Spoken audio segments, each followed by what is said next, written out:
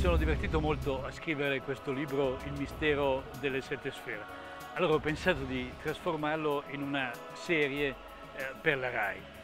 Per farlo ho avuto per fortuna la, la collaborazione di un bravo collega, di un gruppo di eh, giovani appassionati e soprattutto di un'artista fantastica che ha dato il tocco giusto finale.